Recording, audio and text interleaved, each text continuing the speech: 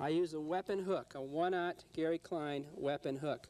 The reason I like this hook, first of all, it's needle point for penetration in deep water because you don't have much of set power down there when you're pulling in 35 to 50. When what you swing up on top is not what's happening down there.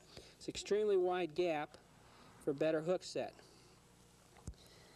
I like to tie a double Palomar knot.